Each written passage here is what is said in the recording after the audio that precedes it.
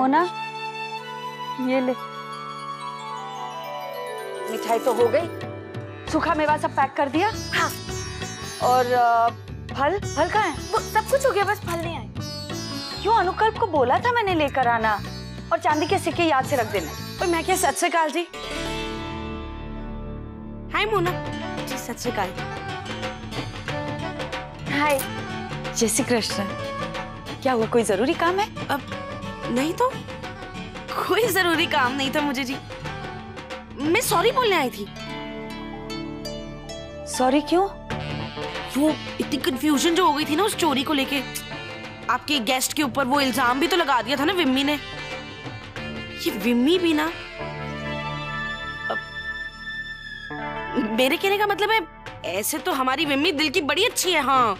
लेकिन ज़ुबान पर ना उसका कंट्रोल ही नहीं होता है। कहीं भी कुछ भी बोल पड़ती है सच्ची। वो तो हमें पता है। मोना को देखकर ही पता चल जाता है कि उसकी मम्मी वैसी ही होगी। जी? और उसका दिल भी उतना ही साफ़ होगा जितना हमारी बहू का। हाँ हाँ। ये तो आपने बिल्कुल सही बात की है। वैसे बहन जी ये इतने सारे गिफ्ट्स किसको मिल रहे हैं हैं? इतनी तैयारियाँ शैयारियाँ किस बात की हो रही है आपके घर में? बताया था ना मैंने आपको। गौरधाना गौरधाना करने जा रहे हैं? ओ हाँ। वो कोई दाना शाना डालने वाले थे ना तुसी? उसका मतलब क्या होता है? ये जब आप लोगों में वो होता है ना रोका तिलक तिलक। बस वैसे ही हमारे में गौरधाना कहते हैं। लेकिन ये आपको कैसे पता होगा? इसीलिए कहते हैं शादी ब्याह अपनी बिरादरी में करना चाहिए वरना रस्म रिवाज सब दाव पे लग जाते हैं। हाँ। हाँ बा जानती हूँ। पहले मुझे भी बहुत झिझक हो रही थी। मैं मैंने सोचा था कि मैं अपनी बेटी की शादी गुजराती वैष्णव परिवार में ही करूँगी। लेकिन फिर देखा कि लड़का इतना अच्छा है तो ठीक है। हाँ लड़का तो बहुत ही अच्छा है मैं कहती हूँ हाँ। ठीक है जी मैं चलती हूँ। अरे डिम्पी मासी इतनी जल्दी कहाँ जा रही हो? कुछ खास खा के जा। मतलब नहीं नहीं मोना फिर कभी आ जाऊँगी यार। कभी जम के खाएँगे फिर से सब साथ में। सत श्रीकाल जी। सुनिए जी। वो जरा अमृत बहन को कह देना कि शाम को हम लोग आ रहे हैं। गौरधाना करने? अ, सही मुहूर्त का समय देखकर मैं फ़ोन कर दूँगी उन्हें। लेकिन आप कह तो ज़रूर दीजिएगा। मुहूर्त? है जी सत श्रीकाल। जी सत श्रीकाल। हाय हाय तेरा कुछ नहीं होने वाला है। कोई तमन्ना नहीं पूरे होने वाली है। और मैं तो कहती हूँ कि पैम और कल की शादी नहीं हो सकती हाँ। ये तो क्या कह रही है? मॉम ओए पैम डार्लिंग तू ना अपनी शादी के सपने देखना ही छोड़ दे। तेरी किस्मत में ही नहीं है इस घर की बहू बनना हाँ। लेकिन मॉम क्यों? हाँ डिम्पी कुछ तो बताओ हुआ क्या? हमें भी तो पता चले। ओ भाई साहब ना ही पूछे तो अच्छा होगा। ये मोए कनाडा वाले इनकी ना एम्बेसी से फ़ोन आया था। अब हम ठहरे हैं ना रहे तुझे तो बताया था ना, हम ज़्यादा दिन बाहर नहीं रह सकते।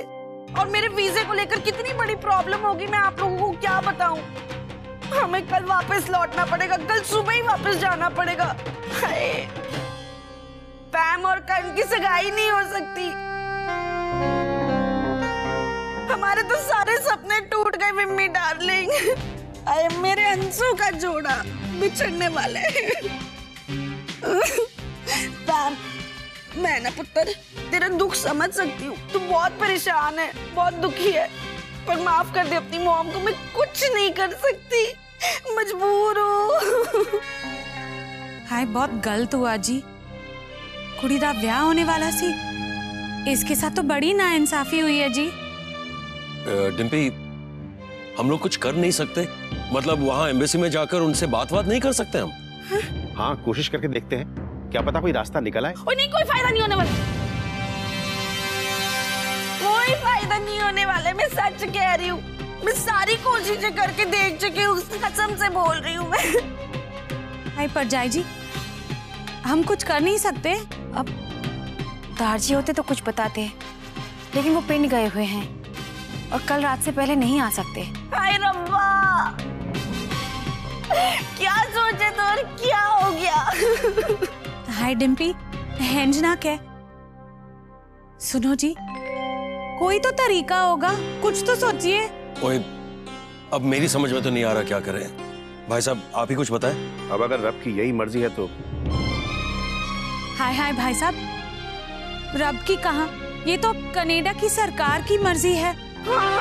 ओहो कुछ तो कीजिए ना। ओए पुत्र। जाने की तैयारी कर ले तू पैकिंग कर। अब जब रिश्ता नहीं जुड़ना है तो नहीं जुड़ना क्या कर लेंगे हम लोग? जा पुत्र जा पैकिंग कर जा। Mom, this is just not fair. Not fair. ओए पुत्र ओए पैम पैम पुत्र। हाय बेचारी देखो तो इसकी हालत। कुड़ी का ब्याह होते होते रह गया जी। ओए रब्बा। क्या हो गया ये सब? सब खत्म हो गया मेरी पैम अरे मेरी कुड़ी का क्या होगा रब्बा? ये क्या किया तूने? देखिए सब ठीक से रखा है ना मैंने? कुछ रह तो नहीं गया? वही छह सुपारी हो गई वरनागा नारियल फल फूल चांदी के सिक्के। कुछ तो रह गया है कुछ याद नहीं आ रहा है मुझे। सब रखा? अतः चेतना ही आत्मा का लक्ष्मण है। पर अब मुझे तो ये सब पता नहीं है ना? मैंने ना थोड़ी ना चार चार ब्याह करवाए हैं। अभी अभी तो सास बनी हूँ मैं। पहली बेटी की शादी है। मुझे कैसे सब मालूम होगा? हाँ मोना? बा को सब मालूम है। बस कभी कभी हम उनसे उम्मीद थी। पर वो तो नाराज़ बैठी है। सूर्य को नहीं देख पाते हैं। सूर्य का प्रकाश सदैव विद्यमान रहता है। कभी कभी हम बादलों तथा देखिए ना मैंने थाल बनाया जरा देखिए तो सब कुछ मैंने ठीक से रखा है ना? बाय गॉड वो कह रहे मुझे आता नहीं है कुछ। तो मुझे परेशान मत कर। देख नहीं रही मैं गीता का पाठ कर रही हूँ। इस घर में तो शांति से भगवान का नाम भी नहीं ले सकते। अब भी नाराज़ हैं। देख लीजिए फिर आपके रहते हुए रसम में कोई त्रुटि न रह जाए। फिर मुझे मत कहना। त्रुटि की तो तू बात मत कर, भारती। अरे, लड़के की खूबियाँ गिनाकर मेरी मर्ज़ी के खिलाफ मेरी पोती का लगन तय कर दिया। तब त्रुटि नहीं दिखाई दी तुझे? आपकी मर्ज़ी के खिलाफ इस घर में कभी कुछ हुआ है, बा? और न ही कोई करना चाहता है। पर आप ही कहिए, आपको नहीं लगता कि आपकी हेतल के लिए करण बहुत सही लड़का हाँ? और वैसे भी आप तो हम सबके साथ साड़ियाँ देखने भी गई थी तो हमें लगा कि आप मान गई भाई गॉड। अरे वो तो साड़ियाँ देखने गई थी इसका मतलब ये नहीं कि मैं राज़ी हो गई हूँ। साड़ियाँ देखने तो मैं इसलिए चली गई थी कि अभी भी वक्त रहते हमारी हेतल के लिए कोई गुजराती वैष्णव लड़का मिल गया तो देखने दिखाने के लिए हमारे पास साड़ियाँ होनी चाहिए कि नहीं? वाह। तो घर की बड़ी हैं। ये क्या हाथ लगाए रखी है आपने? ये हेतल, आपकी लाडली पोती, जिसकी शादी के लिए आप इतनी परेशान थी, मुझसे भी ज़्यादा। दुनिया भर के पंडितों के पास उसकी कुंडली लेकर भटकती रहती थी आप। आज जब उसका ब्याह हो रहा है तो आप हाँ बा हमारे लिए ना सही। हेतल के लिए मान जाइए ना। Please please. वैसे भी हेतल की शादी बिना बा के आशीर्वाद तो हो ही नहीं सकती मोना समझ गई? हाँ। बाकी अगर मुझसे कोई गलती हो गई हो तो मैं हाथ जोड़कर विनती करती हूँ आपसे क्षमा मांगती हूँ। माफ़ कर दीजिए। हाँ ठीक है। तूने तो माफ़ी मांग ली लेकिन तेरी बहू माफ़ी नहीं मांगेगी? दादी सास के पाँव नहीं छुएगी? इतनी अकड़ हाँ? ऐसा मत कहिए बा। मैं मैं भला बड़ों से कैसे अकड़ रख सकती हूँ? जितनी भी गलती है ना सारी मेरे सिर मत्थे है पर आप आप मुझसे जितना नाराज़ होना है ना हो जाइए।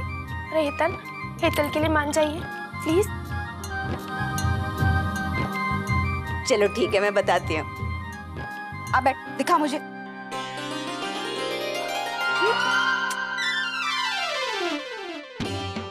ओहो तुम्हें तो सचमुच कुछ नहीं आता।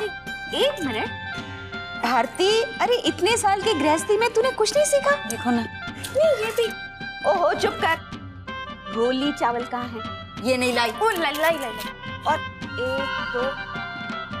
पाँच तरह के फल होने चाहिए ना? आपका लाला पोता नहीं लाया। नहीं नहीं लाया लाया। हाँ। मैं ना रहूँ तो पता नहीं क्या होगा। वही तो हम कह रहे हैं बा रखो।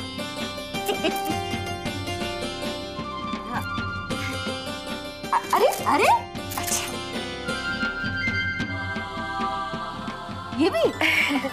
अरे वाह। बड़ी सुंदर है। बड़ी पहुँची हुई चीज़ है ये, मोना रानी। बा को तो पटा लिया। मोना रानी, खबर न हो तो कह दूँ। मैं इतनी आसानी से नहीं मानने वाली। हम्म?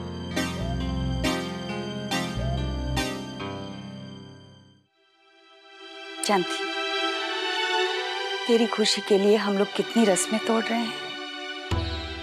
गुजराती वैष्णव होकर भी, पंजाबी परिवार में तेरी शादी कराने के लिए राज़ी हो गए। रोके में लड़कियाँ नहीं जाती। फिर भी तुझे लेकर जा रहे जानती है क्यों? क्योंकि तू सबकी लाडली है और कल तू शादी करके चली जाएगी। हमें छोड़कर हम क्या करेंगे? बस। अब आप मुझे रुला रही हैं। और फिर बाद में डांटेंगी कि मैं बात बात पे क्यों रोती हूँ?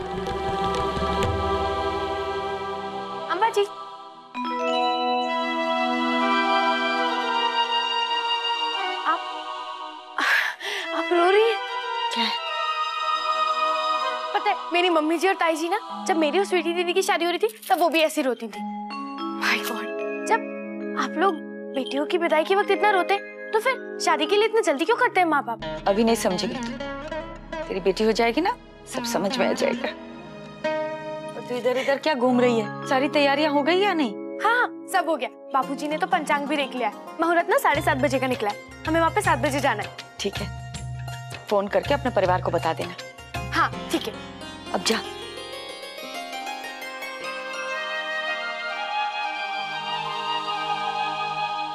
ओहो समझ में ही नहीं आ रहा। ओ डिम्पी दस मेनू जरा। मैं ये झुमके पहनूं फ़ंक्शन में? ये तो जो मर्ज़ी पाले तू सोनी ही लगने वाली है। है ना?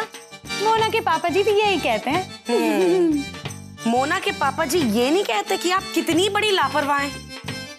ये देखो तुम्हारा झुमका नीचे गिरा हुआ था सोने का। ओए विम्मी अब मेरी नज़र ना पड़ती तो खो जाना था ना। हाय कुड़िए तू कब सुधरेगी? हाय मैं तो ऐसी ही हूँ। मैं आती हूँ हाँ? हाँ। मैं तैयार हो रही हूँ। हाँ। देखा? अब अपना मोबाइल भूल गई। ओए मोना। अब क्या स्यापा डालना है साफत की पुड़िया ने? हेलो जी हेलो जी कौन डिम्पी मासी? मम्मी जी को फ़ोन देना जरा ज़रूरी बात करनी मैं पुत्र जी आपकी मम्मा ना अभी बाहर गई हैं कमरे से। एक काम करो आप मुझे मैसेज दे दो मैं बता दूँगी। दसो की गल है। अच्छा अच्छा मैंने तो बस ये बताने के लिए फ़ोन किया था बाई गॉड कि मुहूर्त ना साढ़े सात बजे का निकला है। हम साढ़े सात बजे तक वहाँ पहुँच जाएँगे ओके? हाँ ओके जी। नॉट ओके जी। साढ़े सात हाय रब्बा फिर तो इसके आने से पहले मुझे सारा चक्कर चलाना पड़ेगा। ये लड़की मुझे चैन से क्यों नहीं रहने देती? डिम्पी तू सच ही कहती है हाँ मैं सब कुछ भूल जाती हूँ कुछ याद नहीं रहता। पर जाई जी ने मुझे अभी अभी याद दिलाया कि मोना के ससुराल में मैंने फ़ोन ही नहीं किया भूल गई। तू भूल गई ना मैं थोड़ी ना भूली। मैंने तेरे फ़ोन से अब भी मोना से बात की और उसे कह दिया है कि छह बजे तक पहुँच जाए है ना? हाय वेरी गुड तुम मेरा इतना ख्याल रख दिए। मुझे पुराने दिन याद आ गए कॉलेज के हाँ। कितना मज़ा आता था ना। हम्म, पर फिर भी दिल में एक मलाल रह गई। हाय की। तेरे जाने से पहले हम सिर्फ़ ये फ़ंक्शन ही कर रहे हैं। करण और पैम दा ब्याह तो फिर भी नहीं हो पाया। मेरी जान तू बिल्कुल टेंशन ना ले कोई बोझ ना रख दिल पर। देख एक काम करते हैं। जब हम छह महीने के बाद कनाडा से वापस आ जाएँगे ना फिर उन दोनों की शादी कर लेंगे है ना? बिल्कुल धूमधाम से पक्की बात। चल मैं तैयार हो रही हूँ अभी। हाँ ठीक है। अभी तक तैयार नहीं हुए अरे बहू कब से समझाने की कोशिश कर रहा हूँ लेकिन ये लोग मानने के लिए तैयार ही नहीं है। अरे बिजल कब तक मुँह फुलाकर बैठी रहेगी? चल ना। बा तुझे जाना है तो जा। खबर ना तो कह दो मैं नहीं आने वाली।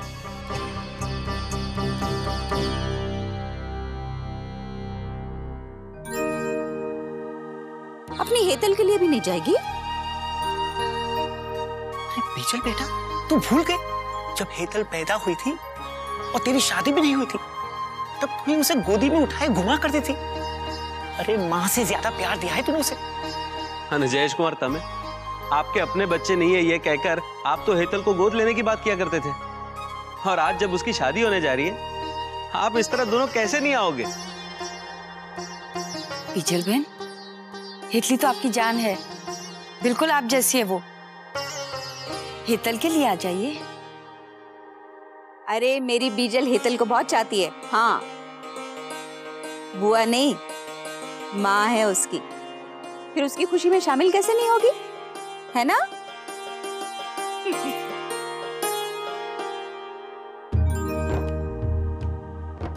फिर भी बा गुजराती लड़के से शादी होती ना तो जयेश कुमार।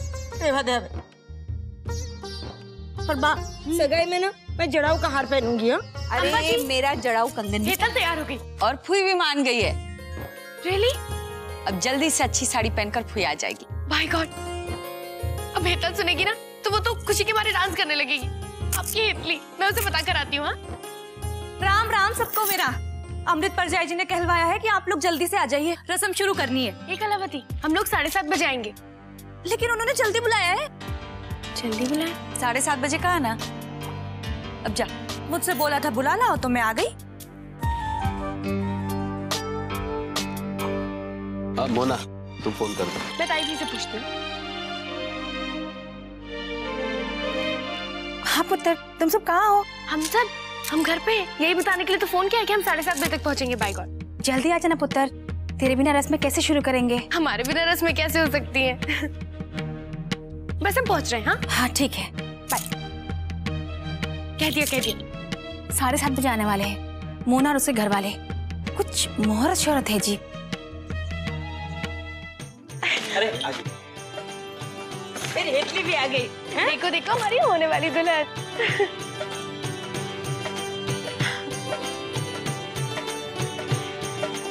कॉन्ग्रेचुलेशन तुमने तो वो कर दिखाया जो किसी ने सोचा भी नहीं था। तुम तो मुझे बड़ा रोक रहे थे। सॉरी बाप। लेकिन सच में मैं तो खुद हैरान हूँ कि तुमने ये सब कितनी अच्छी तरह संभाला है। इसलिए कहते हम पे भी कभी भरोसा करके देख लीजिए। आई गॉड बाई गॉड अरे तुम दोनों क्या बात कर रहे हो? वही वही जो आप कहते हैं। अपनी बीवी की तारीफ़। चलो चलो देर हो जाएगी। चलो चलो। चलो चलो।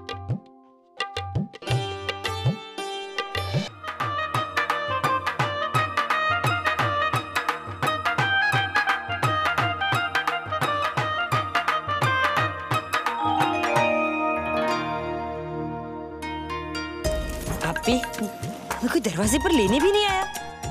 मोना अरे हम लोग समय पर आए हैं ना देर तो नहीं हो गई। किसी लोग चिंता ना करो मैं जाके मम्मी जी को बुला के लाती हूँ।